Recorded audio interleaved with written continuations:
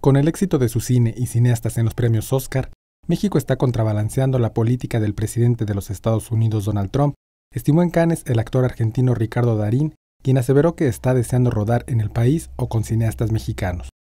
Bueno, México no necesita que yo lo diga, México está dando acabadísimas pruebas del talento y la capacidad que tiene entre sus personas. En entrevista con Notimex, en el marco del 71 Festival Internacional de Cine de Cannes, en el que se estrenó en competencia su película Todos lo saben, Darín expresó su alegría por el éxito de los cineastas mexicanos.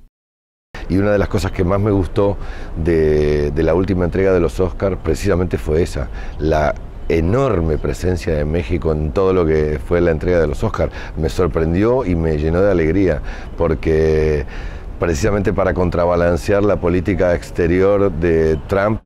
Cuestionado por si le gustaría rodar en México o con cineastas mexicanos, Darín afirmó que lo desea y aseveró que está esperando que le hagan una invitación formal.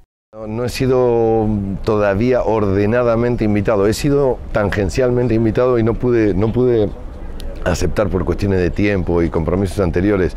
Eh, yo espero que en algún momento se produzca así, estoy seguro. Sobre la película que presentó en Cannes y que inauguró el certamen, Darín dijo que fue una oportunidad de trabajar con su amigo Javier Bardem, un placer compartir el elenco con Penélope Cruz y se deshizo en elogios para el director de la película, el iraní Asghar Farhadi.